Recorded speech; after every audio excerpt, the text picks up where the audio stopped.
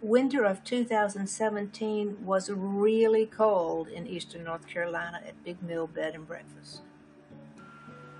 This is a picture of the old breezeway and the end of the wash house and the pecan trees that my folks planted in 1922.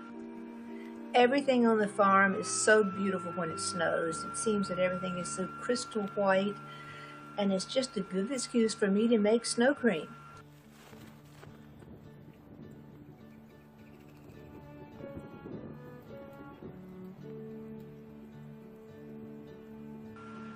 This is the wash house where my folks did the wash with an old iron cauldron.